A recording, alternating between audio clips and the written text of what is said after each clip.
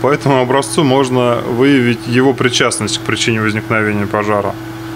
То есть определить, причастен ли непосредственно вот этот образец к причине пожара. Специалисты Рязанского судебно-экспертного учреждения пожарной службы способны выявить причину пожара по любой мелочи. Этот прибор называется рентгенофазовый дифрактометр. Он исследует металлические проводники, а после выдает ответ, является ли короткое замыкание причиной пожара или оно произошло после. Одно исследование занимает не более получаса. На этих рентгенограммах видно э, наличие двух пиков. Это пик оксида меди и пик меди. А, путем соотношения площадей этих пиков можно вычислить коэффициент, который позволяет нам определить первичность либо вторичность короткого замыкания а точнее э, выявить, в каких условиях происходило замыкание до пожара. По рентгенограммам специалист делает вывод, что пожар произошел из-за короткого замыкания. Подобные исследования специалисты Рязанского судебно-экспертного учреждения пожарной службы проводят больше 50 лет, и качество их работы оценивали не раз. В 2017 году наши сотрудники, как и наша лаборатория в целом, в очередной раз э, заняли первое место в Центральном федеральном округе на профессиональном конкурсе.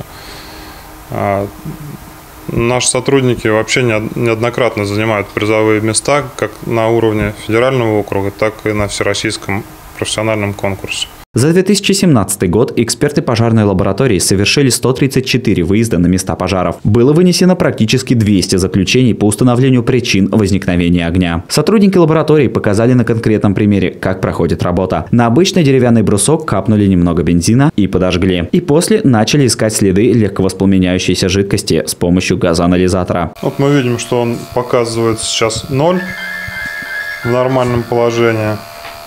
Но теперь, когда мы поднесем прибор. Что-то не Вот видите, очень, очень большие значения, что свидетельствует о очень сильной концентрации горючего вещества в этой зоне.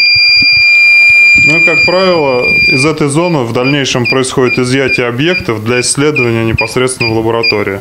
С места пожара в буквальном смысле вырезает участок, на котором присутствуют следы топлива. В лаборатории происходит процесс пробоподготовки. Образец замачивается в специальном веществе. Оно вытягивает горючую жидкость. Весь процесс может занимать сутки. А после в дело вступает другой прибор – хрономатограф. И весь анализ происходит путем закалывания с помощью специального шприца э, жидкости внутрь хроматографа. По результатам мы получаем так, ну, такого вида хроматограмму э, с обозначением веществ, которые входят в состав той жидкости, которую мы закалываем. Это хроматограмма э, светлых нефтепродуктов, э, скорее всего бензин.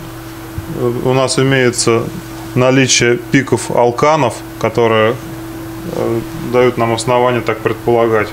И это только два примера. За много лет своего существования эксперты провели не один анализ и вынесли тысячи заключений. К тому же лаборатория постоянно совершенствуется, а специалисты проходят курсы повышения квалификации. 26 января Рязанской пожарной лаборатории исполняется 53 года. Нам бы хотелось пожелать экспертам холодного ума и успехов в работе. Валерий Седов, Роман Вихров, телекомпания «Город».